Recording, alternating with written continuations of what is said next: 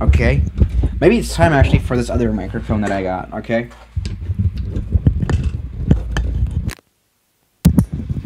What the hell is wrong with you, Microsoft Flight Simulator 2020? This is now a diss track. I don't know what I'm saying. What the hell, dude? This is such a disappointing stream right now. Everything was going fine. Everything was going great until it didn't. I mean, that's, you know, the basically the definition of aviation. And life. That's now deep. I don't know what I'm doing.